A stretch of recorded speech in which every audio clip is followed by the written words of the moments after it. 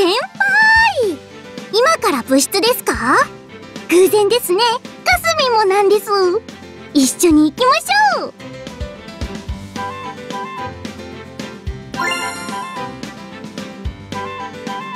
これですか？にひひ部室に着いてからのお楽しみです。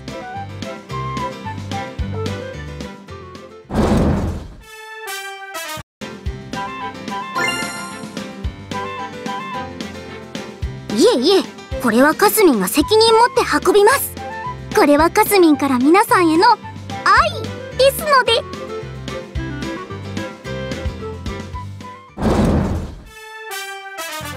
ああよかった。ちゃんと来てくれた。ほら歩む。愛さんの言った通りだったっしょ信じて待ってりゃいいんだって。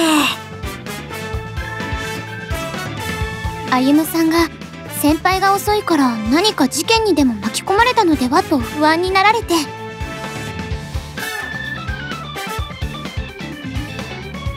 ほうほうこの匂いは。パンかすみちゃんそのバッグの中にパンが入ってるね。あどんな嗅覚してるんですかエマ先輩むむむバレてしまってはしょうがない。皆さんかすみんからの差し入れですよ。わ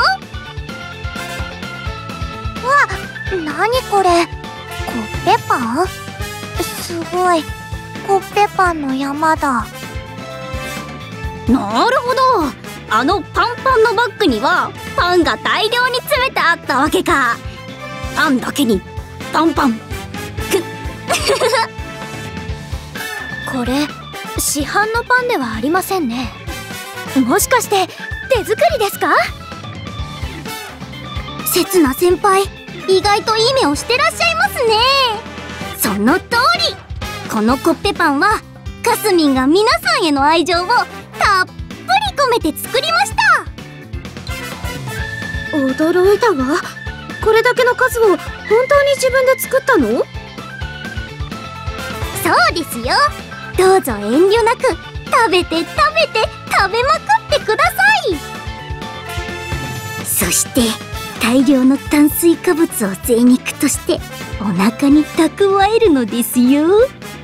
にひひひひ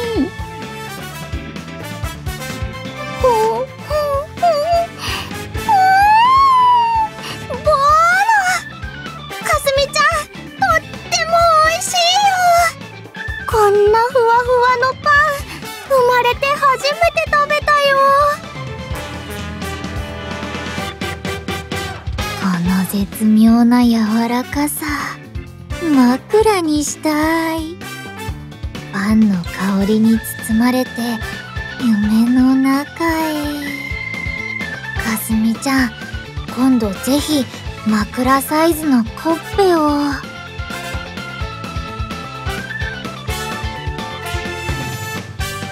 本当ですか？先輩のためなら毎日焼きますよ。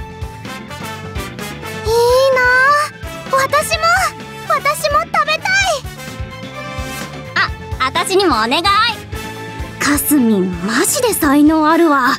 将来お店やるなら口コミサイトに絶賛コメント書きまくるね。かすみちゃん今度パン作り教えてくれない？どうすればこんなに美味しくできるの？ももうみんな一斉に喋らないでくださいまあ褒めてくれるのは大歓迎ですけど。あ